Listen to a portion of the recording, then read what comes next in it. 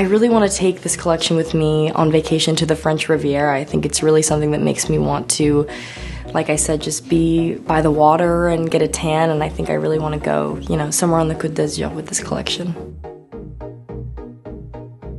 I think the mood of the campaign is just very kind of effortless and, and intimate and spontaneous, also, like the kind of emotions that we can feel when we're just on a nice vacation. I love Virginie so much. I've known her for ever since I've been working with Chanel, and I think she just has a, an elegance and a, a grace about her that's to me very characteristic of the Chanel woman. And you really feel the, the passion that she has for her work come through in, in all, all that she does.